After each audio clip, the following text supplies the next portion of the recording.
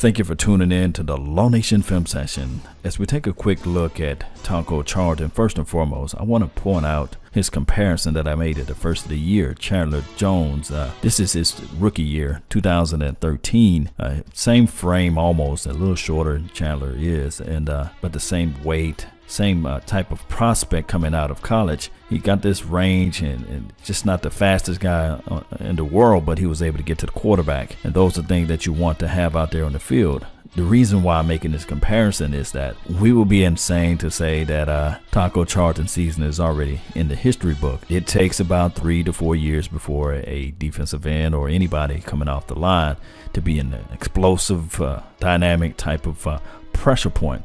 Now, this is not a quality sack. Yes, we all know that, but it's a sack. It goes down in the history book, and those are things that I like to see out there. The uh, the disengagement, the continuous process of going after the quarterback. Now, granted, you know Taco Charlton is only getting 20 some snaps a game, so he's not getting the, the snaps of games that Chandler Jones was getting, and he's not playing with the lead ahead like the uh, uh, New England Patriots are or were playing during that time. This is Chandler Jones' second year. And as we saw, the production was just sky high. He averaged what, maybe eight to nine sacks a, a year almost. If you look at his uh, profile collectively, I think he averaged 11 sacks. Well, not average, but had 11 sacks his second year. Not saying that Taco is going to have that type of productivity. That's just insane for me to say. But uh, his skill set and the tenacity and the temperament, those are things that I look at. And those intangibles and that type of pedigree is what I'm seeing out of Taco, regardless of the scenario of what whether or not he's a, a bust or not. He, he has those type of uh, uh, ingredients flying up to the ball, being going upfield, not giving up on plays.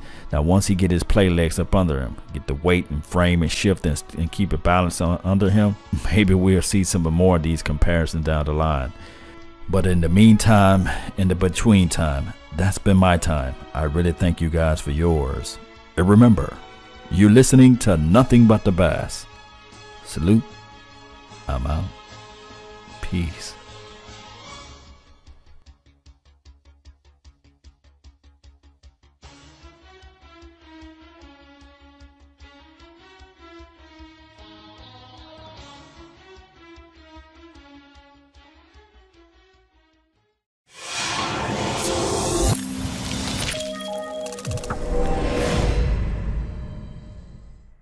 I'm doing this right now for evaluation's sake. I want to kind of, I guess, let you in on the process a little bit. And I want to go to, to Taco Charlton from Michigan.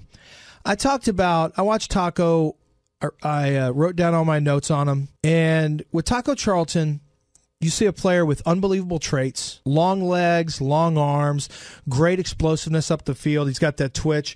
He's got physical traits that are exceptional. And NFL teams love physical traits. Now, a lot of people are going to say, well, that's stupid because you need to tell me if you can play football. One of the biggest mistakes that I made, and many of us make this on a everyday basis, is to evaluate a player based on who he is now versus who he's going to be. Now, you you look at a baseball outfielder who's 26. You know, I think you can make a reasonable assumption about who that baseball player is going to be in two, three, four years in many cases.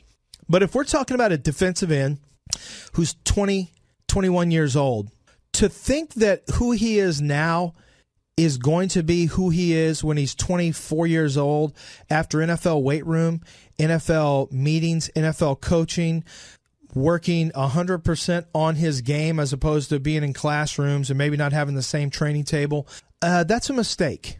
Now, I'm not saying every player gets better in the NFL. That's not the case. There are some players who are maxed out. I know Alabama has been criticized. They haven't been criticized, but in draft circles, there's a lot of talk about when you get an Alabama player, you're getting a well coached player who's going to be technically proficient, who's going to be bigger than a lot of the other guys, but they're also going to be kind of maxed out. Like there's not a lot of room for growth with Alabama players. That's been what people in the NFL say. And it's a testament to Coach Saban and his staff. But the idea is what you see is what you get. When you're projecting, if you take what, see, when you take what Jonathan Allen does right now, you think he's going to get a lot better in pros?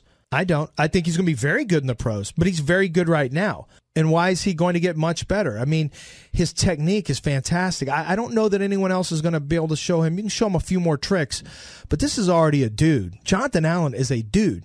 I'd argue that Tim Williams could get a lot better. He's got physical traits and ability, but he's still raw. I think he can get better. But I think Jonathan Allen's going to be a great player, a very good to great player in the NFL, but that's who he is right now. I mean, I think that you could argue that he's kind of maxed out in the sense that he is who he is because he's gotten the coaching and he's that kind of worker. Taco Charlton, defensive end for Michigan, is different to me. I see traits, I see flashes.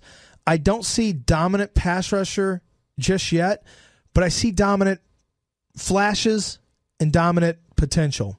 And one of the big mistakes that I made in terms of my own, you know, amateur evaluating was believing that Chandler Jones was overrated when he was coming out of Syracuse. I saw I saw the long limbs, I saw the potential, but I spent too much time worrying about who he was right now. Well, who is he right now? Well, I don't see it. We have to be able to see who they're going to be, and that isn't easy.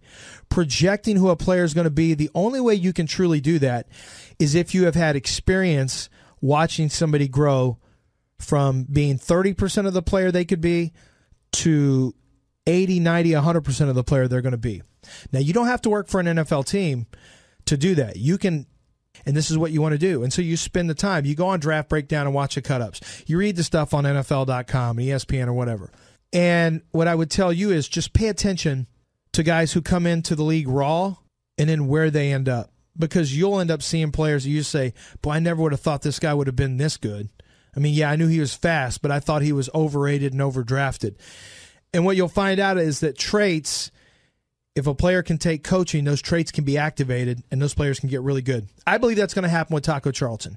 I think Taco Charlton is the next Chandler Jones. I believe that Taco Charlton, it's going to eventually hit for him. Now, he's playing good football right now, but I believe that it's going to hit for him where he's going to understand his length He's going to play with better balance because he's always playing with so much forward lean around the corner that you know he has a hard time keeping his balance. Sometime I see rip moves. I see the ability to turn and bend the edge.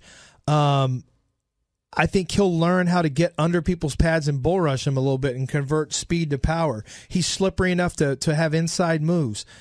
I think Chandler Chandler. I think uh, Taco Charlton what I see is long arms and legs that are going to help him get over the corner of a tackle.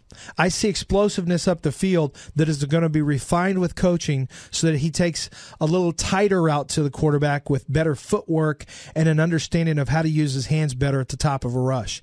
I see a player with a spin move back inside that can become a devastating weapon once he gets his edge rushing tightened up, like we just talked about. Because once a tackle is afraid of a guy beating him around the edge, they start to overset and overcompensate. That's where that spin move and inside move can really become devastating. So to me, when I see the burst, the explosion, some of the pass rushing moves and traits, the spin move, and then I think about what's going to happen as that guy grows into his body even more, and it's not, you know, it isn't so much of a cult trying to grow into his long legs, and he gets more coaching and he gets handwork. Now, you also need to find out, if you can, about a player's work ethic and if they're the kind of guy that loves the game and will continue to work on it. That's what NFL teams have that advantage more so than I do. Um, if you find out that he has these traits and he's a hard worker and has good football character, then I think you absolutely fire. I think Taco's got a chance to be a great NFL rusher a good to great NFL rusher. Taco has the ability to be an even higher end player. So, pulling the curtain back a little bit on potential and how to project where a player could go. Do they have the ability to get substantially better because of their physical traits? That's what you want to see. That's how you know you have a higher ceiling on a player.